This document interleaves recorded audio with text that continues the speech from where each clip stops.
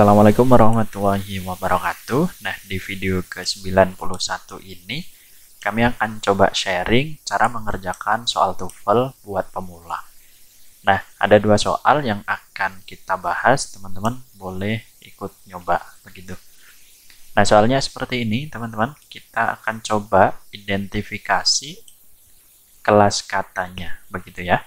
Untuk yang nomor satu, di sini ada ed-ed terus di belakangnya masih ada lagi. Nah, yang jatuh sebelum preposisi itu noun ya. Nah, kalau ada ed-ed berarti dia bertindak sebagai adjective. Nah, adjective sama noun ini termasuk rangkaian noun phrase begitu. Type-nya dia noun, kamelnya kamel itu unta. Berarti dia noun. Terus titik-titik dog Nah, di sini. Ini kan posisinya non phrase yang di depan tadi, sorry lupa. Ini menjadi subjek. Nah, ingat di sini ada s-nya, maka di sini pakainya have been. Nah, ini udah bener ya. Ini nggak ada permasalahan ini karena sesuai. Terus in the bedland. Nah, ini nama kota berarti dia noun nama tempat lah begitu. Nah kemudian jawabannya apa?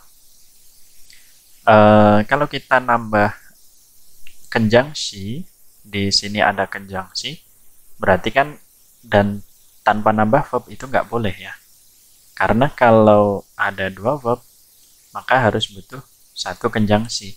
Kalau ken dua verb tapi sorry, kalau satu kenjangsi satu verb itu nggak boleh begitu. Nah, not larger ini juga nggak ada. No more large atau no larger than.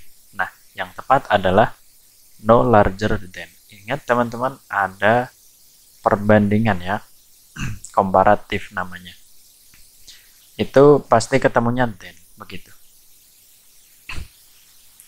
Oke, lanjut lagi untuk yang nomor dua. Di sini ada gorillas are ini noun sebagai subjek, terus are-nya sebagai verb, terus quiet-nya adjective, animals dia noun. Nah, ini rangkaian noun phrase namanya.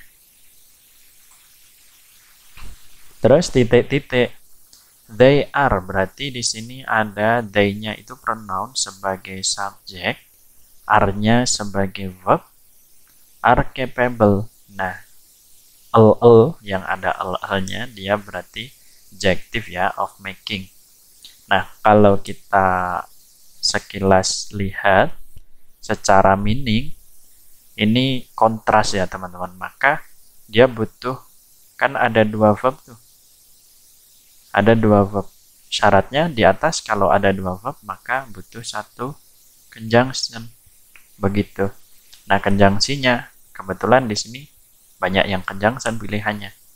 Karena maknanya, artinya itu kontras antara yang depan dan yang belakang, maka kita pilihnya even tuh. Begitu. Nah, mungkin itu dulu teman-teman yang bisa kami bahas. Semoga bermanfaat. Jangan lupa klik like, share, dan subscribe channel ini. Terima kasih. Assalamualaikum warahmatullahi wabarakatuh.